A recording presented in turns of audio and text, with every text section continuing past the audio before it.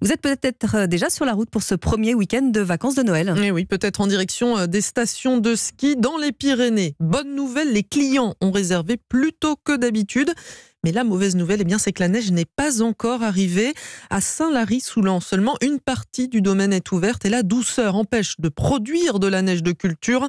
Un reportage du correspondant d'Europe 1, Benjamin Péter.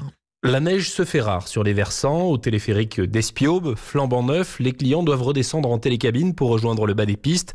Pour Manu Bernia de l'Office de tourisme de Saint-Lary, il fait encore trop chaud. On a des conditions d'enneigement qui sont moyennes, on va dire, sur les parties basses du domaine. On a peu de température froide, donc on a de la neige. Par contre, on n'arrive pas à en produire plus pour conforter le domaine skiable. En 2-3 jours, on pourrait revenir à une situation normale. Il faut 2-3 jours de froid. Malgré tout, les clients ont réservé en masse pour les deux prochaines semaines. Ils pourront se tourner vers les activités de chien de traîneau, de ski de randonnée ou de spa dans la vallée.